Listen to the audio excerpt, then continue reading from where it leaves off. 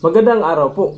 Welcome back po sa aking ah, channel. So, ibabahagi ko naman sa inyo ngayon itong ah, tungkol sa dandruff o balakubak sa sa mga aso. So, bakit ba sila nagkakaroon ng balakubak at ah, ano ang pwedeng gawin? So, yan ang ating alamin sa video kong ito.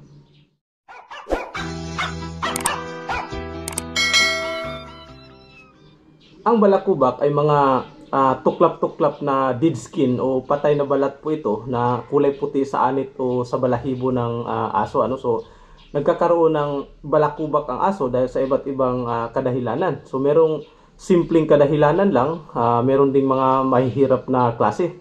Katulad na lang halimbawa ng mga ah, balakubak na associated sa mga endocrine diseases.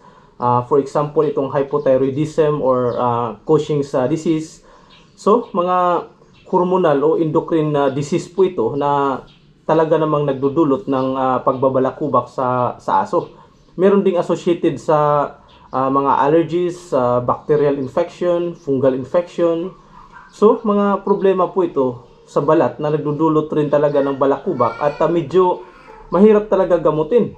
Kailangan dito ma-examine talaga sa doktor, ah, kailangan ito ng mga laboratory at ah, mabigyan ng specific na gamot para mawala ang balakubak. Okay, samantala, kung mga ah, simpleng balakubak lang naman, ah, like for example, ah, poor quality diet or nutritional ah, deficiency, ah, ectoparasite like garapata at pulgas, and ah, poor grooming practice, then ito yung madali lang gamutin at kahit di nyo nadalhin sa vet ay kaya nyo remedyohan sa bahay. So, ano po ba ang ah, pwede gawin o mga remedyo na pwede gawin sa bahay, Dok? Initially, kung wala pa sa budget para magpa-vet ah, o di kaya malayo ang access nyo sa veterinary clinic, then ah, pwede nyo muna subukan ang mga kaparaanan na ito. Una, ah, i-improve nyo yung pagkain ng inyong alaga. So, malaking factor ang masustansya at balanse na pagkain para mawala ang mga ah, balakubak na yan. Eh, Dok, anong brand naman kaya yan? Okay, so sa pagpili ng magandang ah, dog food brand, medyo challenging talaga dahil lahat sila ah, nagki-claim na ah, maganda. Kaya tingnan nyo na lang mabuti ang ingredients at ah, nutritional content sa dog food na bibilhin nyo na makikita nyo po yan sa label ng dog food sack or sa ah, packaging. Usually, yung mga dog food na may ah, presyo talaga ay sila po yung ah, maganda ang quality talaga. Majority as I say. Ah, whereas, yung mga mumurahin lang ay expect nyo na sacrifice talaga ang quality ng mga ah, iyan. But again, ah, di ko naman nila lahat. No? So just check the ingredients na lang ng dog food na bibilhin ninyo. Tingnan nyo baka mga byproducts lang pala ang protein source niyan like ah, lamang loob ng baboy, ah, balahibo ng manok, no? so kuko ng baka.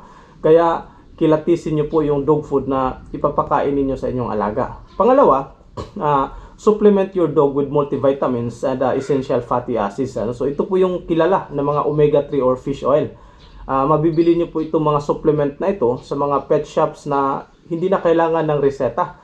Maraming available brand nito sa kasalukuyan. So gumamit lang po talaga kayo ng ah, formulated for dogs na omega fatty acid kasi ah, magkaiba po ang milligram concentration ng ah, human versus yung pang-aso.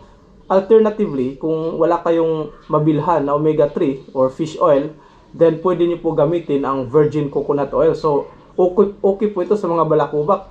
Ah, bigyan nyo ang inyong alaga ng 3 to 5 ml per 10 kg ah, body weight 2 times a day.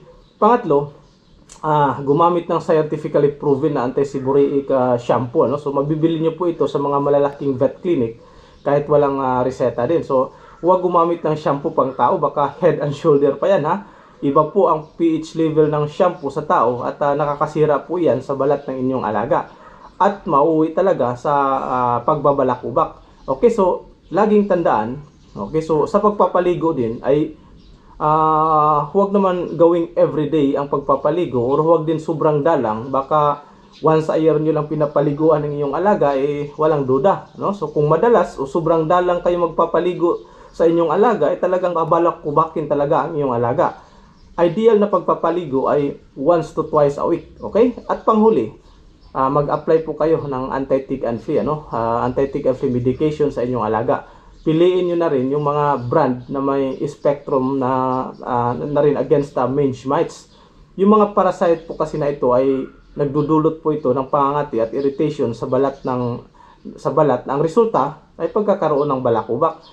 Avail- available po yung mga gamot na yan sa mga vet clinic at ah, mabibili nyo maski walang reseta din.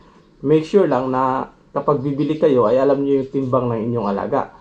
Okay, so kung hindi talaga mawala ang pagbabalakubak ng iyong alaga, last resort nyo talaga ay gawan nyo ng paraan na madala ito sa clinic no, upang ma-examine, ma-diagnose ng doktor at ah, mabigyan ng mga ideal and ah, specific medication. Okay, so I hope may napulot muli kayo sa video kong ito at salamat sa inyong oras at panonood.